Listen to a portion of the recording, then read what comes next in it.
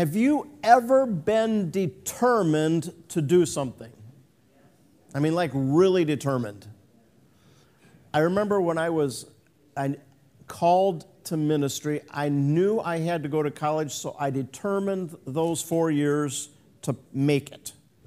Luke records that Jesus resolutely set out for Jerusalem. He said, I must press on today and tomorrow, for surely no prophet can die outside of Jerusalem. Jesus was resolute to accomplish God's plan of salvation for you and me, rescuing us from sin and death. Now, today we're jumping ahead to fit with today being Palm Sunday. Jesus is determined to go to Jerusalem. He is resolute because he is motivated by love.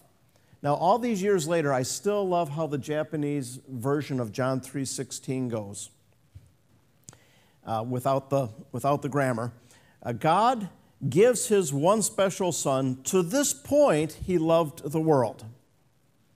In other words, God loved so much it overflowed into action. Jesus' motivation is all for love. Now, we're reading through large segments of Mark's biography. The first half, Jesus served the people through miracles, through deliverance, and preaching repentance. And here in the second half, Jesus is the suffering Savior. He's not a political or military Messiah as everyone expected. Now, last Sunday, we read actually Jesus' very first prophecy that he would go to Jerusalem, die, and be resurrected. Now, we're jumping ahead to the third prophetic word that Jesus gave of his future. Uh, we're kind of skipping the second one to fit with, like I said, today being Palm Sunday. So, uh, Mark chapter 10. They were now on the way up to Jerusalem, and Jesus was walking ahead of them. The disciples were filled with awe, and the people following behind were overwhelmed with fear. Taking the twelve disciples aside, Jesus once more began to describe everything that was about to happen to him. Listen, he said, we're going to go up to Jerusalem where the Son of Man will be betrayed to the leading priests and to the teachers of the religious law. They will sentence him to die and hand him over to the Romans. They will mock him, spit on him, flog him with a whip, and kill him, but th- after three days he will rise again. Now, notice, Jesus is leading the way to Jerusalem. He's determined to accomplish his mission. He's walking a few steps ahead of those disciples. Now, these details are new for the first time. The details about Jerusalem, mocking and spitting and scourging him, and that the Romans would be involved. Now, this is important because the Jewish religious leaders will use the Roman system to do their dirty work. Jesus' prophecy about this is so precise that liberal scholars who don't believe anything believe that Mark wrote all this after the fact, but they forget that Jesus was well aware of the prophecies of his suffering. For example, Isaiah's prophecy I offered my back to those who beat me, my cheeks to those who pulled out my beard. I did not hide my face from mocking and spitting. We find that fulfilled in Mark 14. Even as they march towards Jerusalem, the disciples just have no clue. They still don't understand. Then James and John, the sons of Zebedee, came over and spoke to him. Teacher, they said, we want you to do for us a favor. What is your request? He asked. They replied, When you sit on your glorious throne, we want to sit in places of honor next to you, one on your right and the other on your left. But Jesus said to them, You don't know what you're asking. Are you able to drink from the bitter cup of suffering I am about to drink? Are you able to be baptized with the baptism of suffering I must be baptized with? Oh, yes, they replied, We are able. Then Jesus told them, You will indeed drink from my bitter cup and be baptized with my baptism of suffering. But I have no right to say who will sit on my right or my left. God has prepared those places for the ones he has chosen. When the ten other disciples heard what James and John had asked, they were indignant. So Jesus called them together and said, You know that the rulers in this world lord it over their people, and officials flaunt their authority over those under them. But among you it must be different. Whoever wants to be a leader among you must be your servant, and whoever wants to be first among you must be the slave of everyone else. For even the Son of Man came not to be served, but to serve others, and to give his life as a ransom for many. So, despite the clear teaching that Jesus was giving them, they still failed to see that the Messiah was not a political or a military position. They take Jesus' teaching superficially. Now we see really poor timing here. They bring up their desire for position, for power, and authority immediately after Jesus says, You know, I'm going to die. Now, in ancient time, these were positions of honor.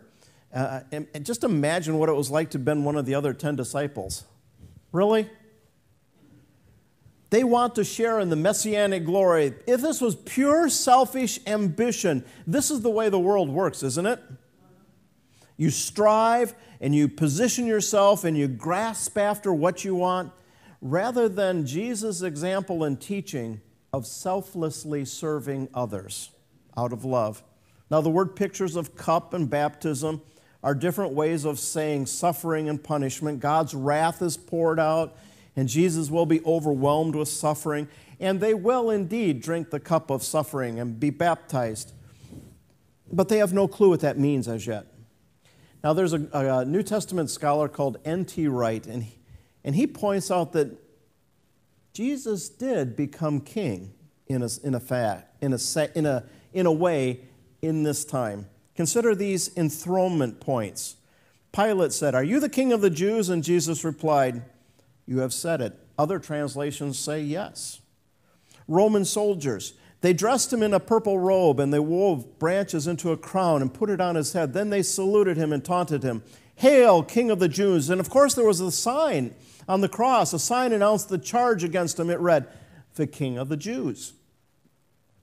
But instead of two places of honor at his right and left, we have two positions of shame. Mark records, and they crucified him with two robbers, one on his right and one on his left.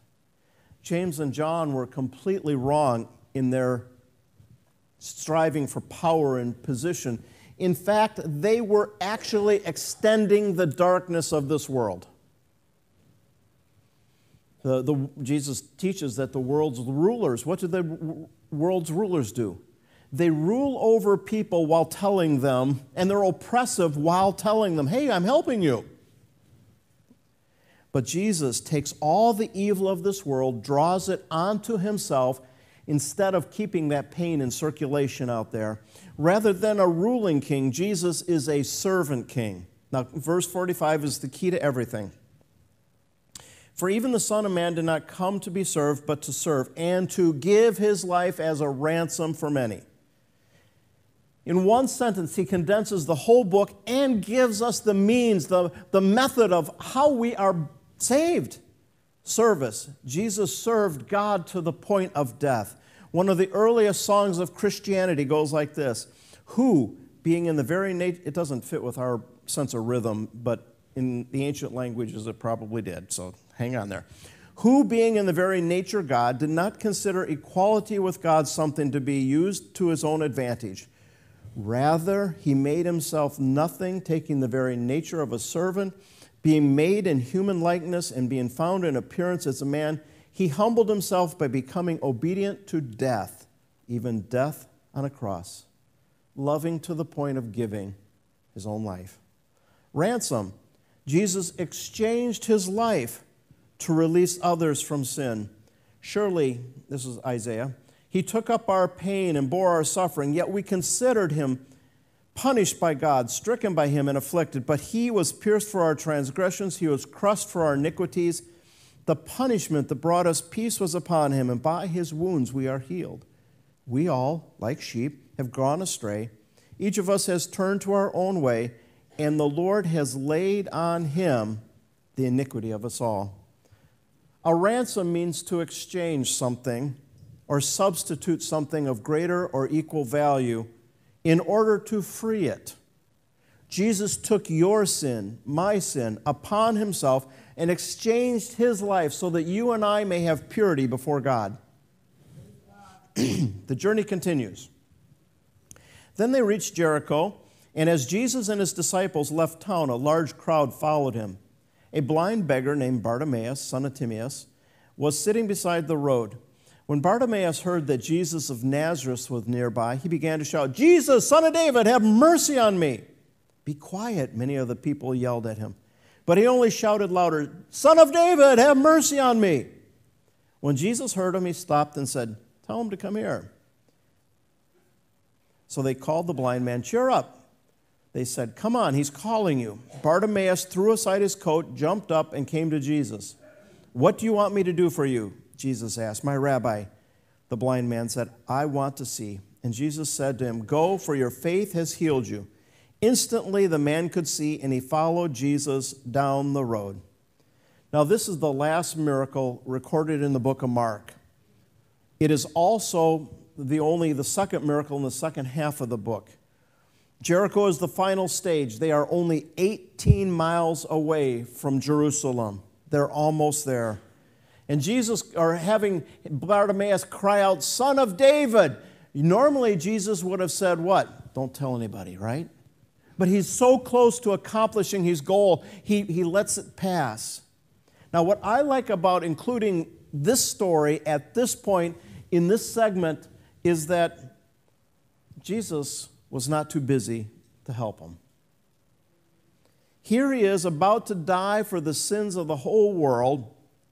He's got all that weight, all that responsibility on him, and he stops to take care of one man, one concern for this man. He stops, he listens. What do you need? After the healing, Jesus continues. As Jesus and his disciples approached Jerusalem, they came to the towns of Bethphage and Bethany on the Mount of Olives. Jesus sent two of them on ahead. Go into that village over there, he told them. As soon as you enter it, you will see a donkey tied there that no one has ever ridden. Untie it and bring it here. If anyone asks, What are you doing? just say, The Lord needs it, and, he will, and it will return soon. The two disciples left and found the colt standing in the street, tied outside the door. As they were untying it, some bystanders demanded, What are you doing untying the colt?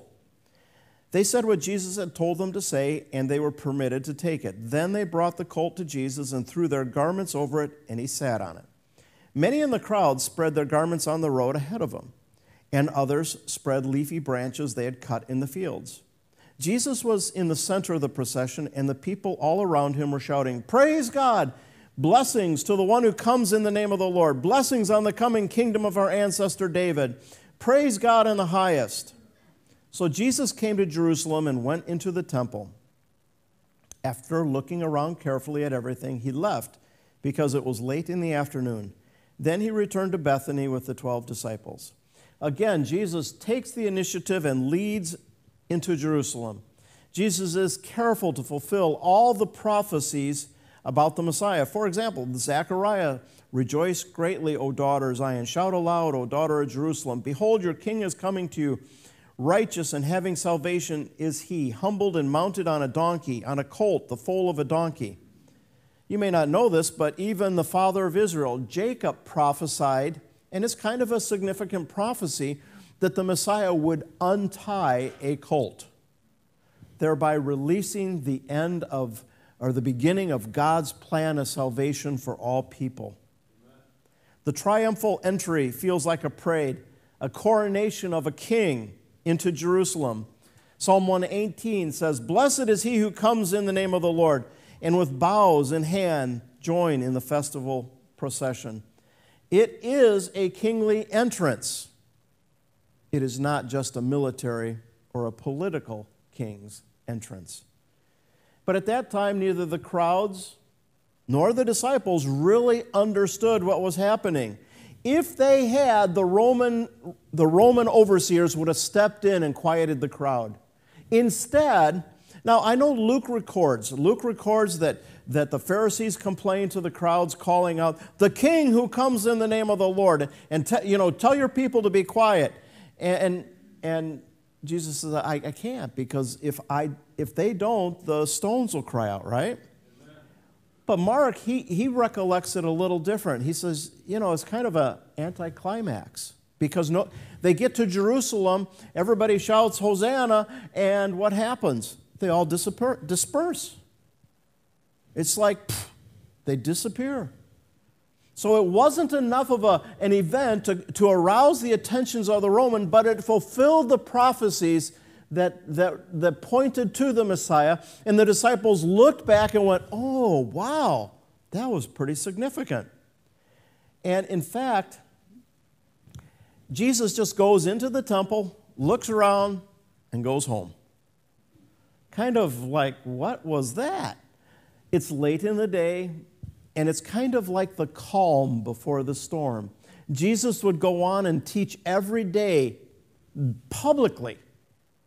You've heard how many times have we talked about don't tell anybody, don't tell anybody, don't tell anybody. Here he is publicly teaching in Jerusalem's temple until Thursday night. Meanwhile, the religious leaders plot to kill him secretly. Now, last week's conclusion was an affirmation of faith. I had you do, and you guys are so great. You put up with all my creative, wacky ideas. Last week I had you hold on by faith, right? You stood and you declared, I believe. I hold on by faith. Today is something similar. If I could have the worship team come back up. we now can look back and see that James and John were foolish when they said, Hey, I want to sit on your right hand or left hand. Look at, I want, I want some of that authority. I want some of the glory of the messianic kingdom to, on me.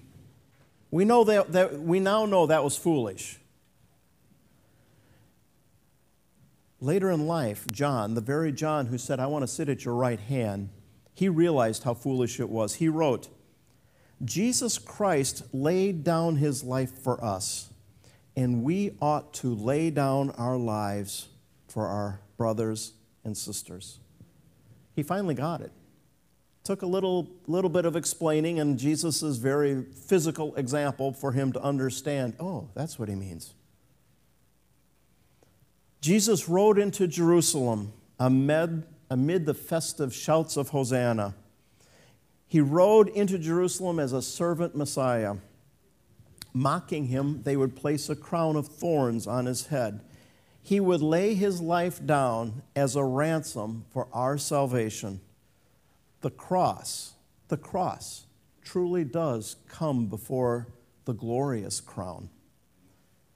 Now, the book of Hebrews paints a picture for us and I'd like to kind of play with this word picture a little bit. Imagine that we are in a great stadium here, you know, like an Olympic stadium, and there's, there's people in the crowds all around us. We're on the playing field, maybe like a marathon runner coming in the final lap. all those in the stands are the heroes of the faith, those who have gone on before us. As we come in, they cheer. Therefore, since we are surrounded by such a great cloud of witnesses, let us throw off everything that hinders and the sin that so easily entangles, and let us run with perseverance the race marked out for us, fixing our eyes on Jesus. They shout and they cheer as you and I throw off sin and run the race. Every day, Satan whispers in our ear, Do as you please. Or, I heard this one on a, on a TV show You are the hero of your own life story. Sadly, we believe that we are rulers of our own destinies. We wrestle to give God complete rulership or authority over our lives every day we open up our eyes, we must lay our crown at his feet. Like in the book of Revelation, a similar scene where the 24 elders lay their crowns, their authority at Jesus' feet. We are to lay our crowns before him. So I'd like to do something creative today. For the old timers, this is going to be a very unusual altar call. I'll just be right up front here. Because it's going to be loud. It's going to be joyous because we are coming before the King of Kings and we are going to lay our crowns, our paper crowns, before Him in order that someday we will receive a crown of righteousness and glory. I want some of you to walk the altar if you feel led to just come on down and uh, like I said, we're going to sing and shout. They're going to play a loud song and we're going to clap. I want you guys to shout and make a lot of noise because it's almost like that triumphal entering into the stadium uh, before the throne of God. And then there's going to be a mighty hush and we're going to lay our crowns before Him. David wrote, I used to go to the house of God with shouts of joy and praise among the festive throng. Friends, would you stand with me? And if you feel led, just come on down and we're going to lay our, our, our selfishness, we're going to lay our sinfulness at Jesus' feet and say, You can be the ruler of our lives.